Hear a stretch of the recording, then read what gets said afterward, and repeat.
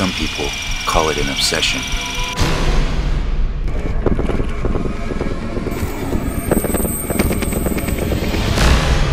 A sickness.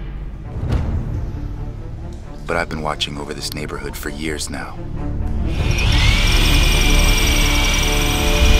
Problem is, when you look long enough, you start seeing things you're not supposed to see.